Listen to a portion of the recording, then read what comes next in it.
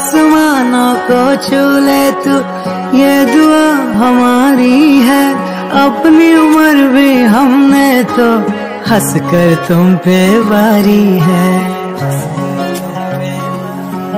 है तेरे जन्म का सौ बार आए, ख्वाब पूरे हो तुम्हारे अरमा इस दिल का। तुमको मुबारक हो ये पल अपने जन्म